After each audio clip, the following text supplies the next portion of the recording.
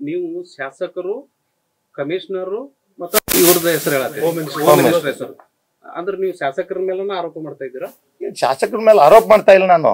ನನ್ ಜೊತೆಗೆ ಇದ್ರು ಅಂತ ಹೇಳಿದೆ ನಾನು. ಸೇಮ್ ಇವ್ರಿ ಈ ಕೇಸ್ ಕೇಸ್ನಾಗ ಮಾಡ್ತಾ ಇದ್ದಾರೆ. ಶಾಸಕರ? ಈಗ ನಾನು ಓಪನ್ ಆಗಿ ಹೇಳಕ್ ಮನ್ಸಿಲ್ಲ. ಯಾಕೆ ಅವರು ನಮ್ಮ ನಾಯಕರಂತೇಳಿ ನಾ ಸ್ವೀಕಾರ ಮಾಡಿದ್ದೆ ನನ್ನ ರಾಜಕೀಯ ಗುರುಗಳವರು. ನಾನು ಅವ್ರ ಬಗ್ಗೆ ಆರೋಪ ಮಾಡಕ್ ತಯಾರಿಲ್ಲ. ಬಟ್ ಇದರ ಹಿಂದೆ ಒಂದು ದೊಡ್ಡ ಶಕ್ತಿನೇ ಇದೆ. ಕಾಣದ ಕೈಗಳ ಕೈವಾಡ ಇದೆ. ಕೈವಾಡ ಇದೆ. ನಾನು ಈಗ ನಾನು ಶಾಸಕರು ಮಾಡ್ಯಾರ ಅಂತ ನಾ ಹೇಳಂಗಿಲ್ಲ. ಗೃಹ ಸಚಿವರಿಗೆ ದಾರಿ ತಪ್ಸ ತಪ್ಸ್ಯಾರ. ಮತ್ ಇವೊಂದು ಮೇಡಮ್ ಅವ್ರಿಗೂ ಕೂಡ ಈ ರೀತಿ ಹೇಳಿಕೆ ಹೇಳ್ರಿ ಅಂತ ಹೇಳಿ ಹೇಳ್ಸ್ಯಾರ ಈಗ ಇನ್ನೊಂದ್ ಕಡೆ ತಾವು ಹೇಳಿದ್ರಿ ನನಗೆ ನ್ಯಾಯ ಸಿಗದೆ ಹೋದ್ರೆ ನಾನು ಸಿಎಂ ಹೋಮ್ ಮಿನಿಸ್ಟರ್ ಪತ್ರ ಬರಿತೀನಿ. ಆತ್ಮಹತ್ಯೆ ಮಾಡ್ಕೊಂತೀನಿ ಅಂತ ಹೇಳಿ. Hundred percent. ಇಲ್ಲಿವರೆಗೂ ನಡೆದ ತನಿಖೆ ನಿಮಗೆ ತೃಪ್ತಿ ತೃಪ್ತಿ ತಂದಿದೆ? ಇದೆಯಾ ತನಿಖೆ. ಈಗ ಸದ್ಯ ಮನಿ ತನಕ ಚೆನ್ನಾಗಿತ್ತು. ಇದು ಬೆಳವಣಿಗೆ ನೋಡಿದ್ರೆ ನನಗೆ ಈ case hundred and one percent ಹಾದಿ ತಪ್ಪಿಸುವಂತ ಹೊಂಟಿದ್ ಹೋಗ್ತಾ ಇದೆ.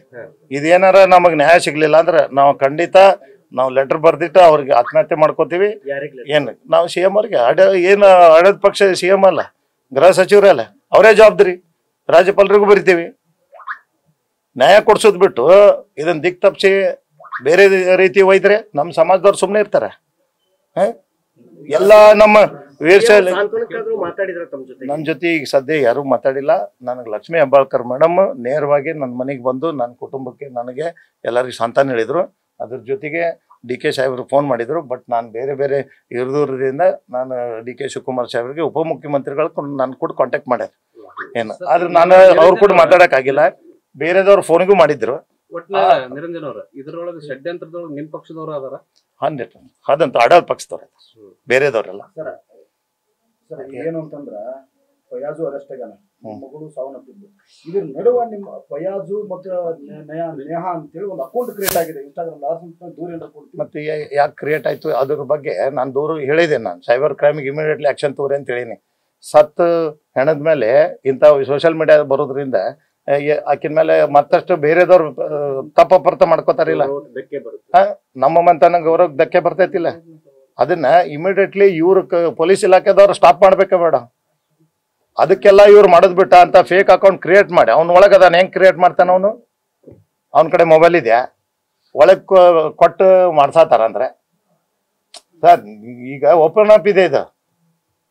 ನನ್ನ ಮಗಳ ಮೇಲೆ ತಪ್ಪು ತಿಳುವಳಿಕೆ ಬರುವಂತ ಇದು ಮಾಡತ್ತಾರ. ಈ ಕಾಲೇಜ್ನಾಗೆ ಎಲ್ಲರೂ ಕೂಡ್ಕೊಂಡು ಇದ್ದವ್ರು ಇವರು ಈವೆಂಟ್ನಾಗೆಲ್ಲ ಪಾರ್ಟಿಸಿಪೇಟ್ ಮಾಡಿದವರು.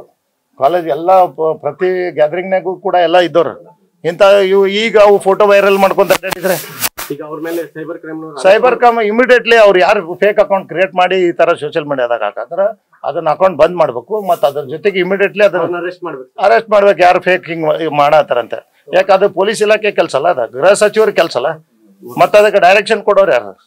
ಸ್ಥಳೀಯ ನಾಯಕರ ಕೊಡ್ಬೇಕಲ್ಲ? ಈಗ ನಾನು ಅದನ್ನ ಬಗ್ಗೆ ನಾನು ಈಗ ಆಲ್ರೆಡಿ ನೋಡಿದ್ದೀನಿ. ಅದನ್ನ ನಮ್ಮ ವಕೀಲರಿಗೆ ಮಾತಾಡಿದ್ದೀನಿ. ಇಮಿಡಿಯೇಟ್ಲಿ ಅದಕ್ಕೆ ಕಂಪ್ಲೇಂಟ್ ಮಾಡ್ತೀನಿ. ಸೈಬರ್ ಏನಿಲ್ಲ ನಾನು ಬೆನ್ನಿಗೆ ನಿಲ್ರಿ. ಈ ರೀತಿ ನನಗೆ ಆಗಿದೆ ಅನ್ಯಾಯ.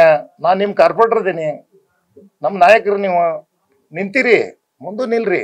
ಇಂಥವು ನಡ್ದಾವ್ ಇವನ್ನೆಲ್ಲ ನೀವು ಬಂದ್ ಮಾಡಿಸ್ಬೇಕು. ನ್ಯಾಯ ಕೊಡ್ಸೋರು ಕೊನೆವರೆಗೆ ಇರ್ಲಿ. ಇರ್ರಿ ಜೊತೆಗಿರಿ ಆಕೆಗೆ ಆತ್ಮಕ್ ಶಾಂತಿ ಕೊಡಿಸ್ರಿ. ಹಿಂದೇನು ಮಾಡ್ಬೇಡ ಅಂತ ಅನ್ನಂಗಿಲ್ಲ. ನೀವು ನನ್ನ ಜೊತೆಗಿದ್ದ ನನಗೂ ಕೂಡ ಧೈರ್ಯ ತುಂಬ್ರಿ. ನಾನು ಒಬ್ನಾಗೇನೆ?